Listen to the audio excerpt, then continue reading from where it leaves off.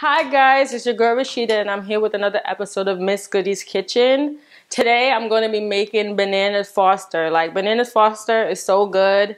It's delicious. It's actually pretty easy, which some people don't know. So I'm going to show you guys how to cook it today. So let's get right into it. So the first thing that you're going to need is a stick of butter, some brown sugar, some heavy cream, three or two bananas, um, some rum, and some pure vanilla extract. Those are the three different, the few different things that you need.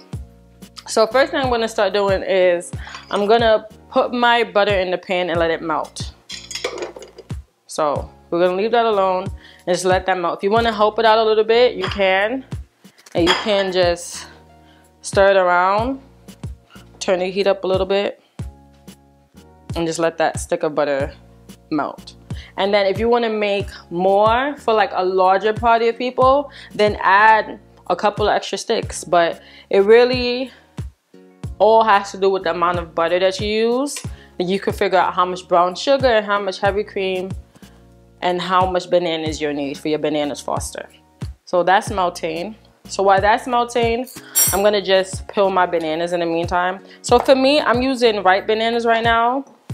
But if you don't have ripe bananas, you can use like any type of banana. So don't say like, I want bananas foster, but I need to wait for my bananas to get ripe. No, you can use any type of bananas, whatever's to your liking.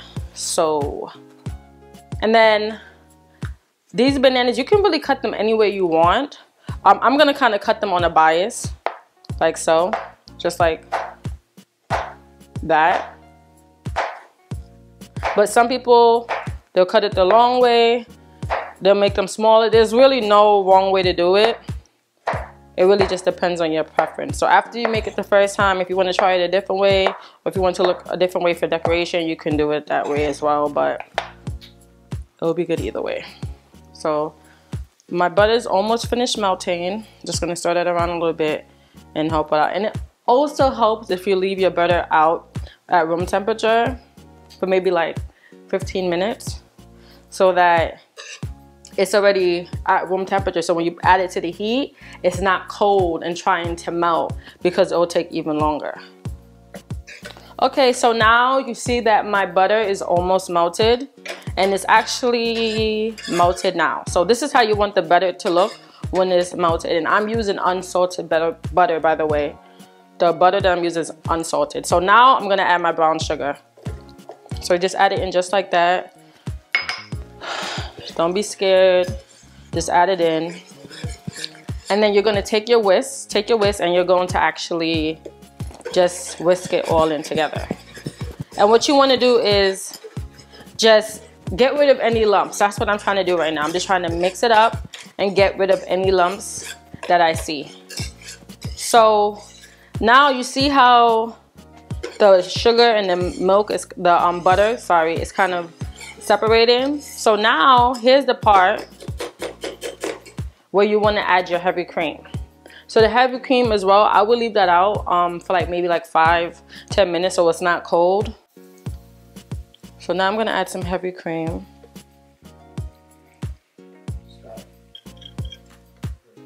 So now I'm just gonna whisk the butter the brown sugar and the heavy cream together.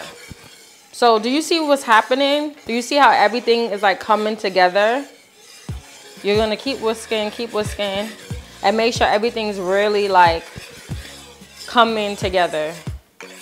Ooh, looks so good. So right now I'm basically making a caramel sauce. So I'm gonna add a little bit more cream. Mix that all in together. Let that simmer.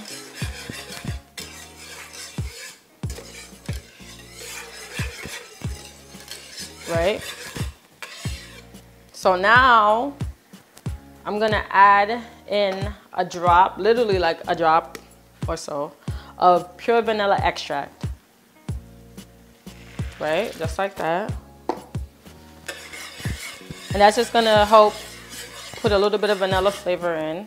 And now, all you have to do is add in your bananas. Look how simple that was.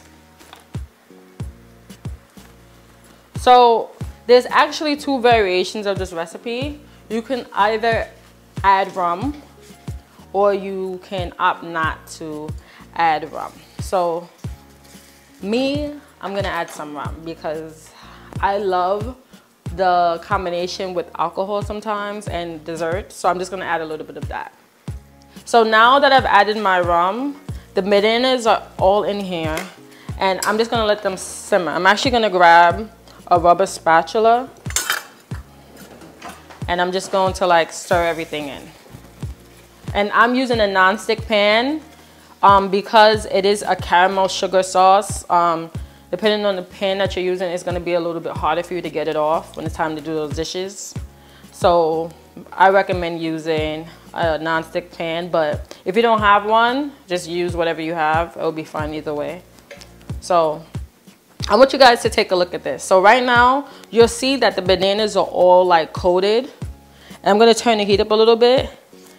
And they're like kind of like breaking down, which is why I like to use ripe bananas sometimes. But even if you use regular bananas, they'll all combine. And then the flavor of the banana actually gets into the sauce.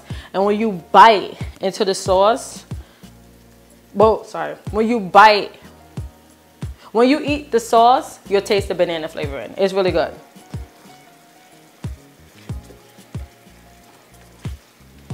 Okay, it's so good. So really just let it simmer for like five minutes. or So this right here is gonna be your finished product. You're gonna see it's basically a caramel sauce, a vanilla caramel sauce, and um, it has bananas in it.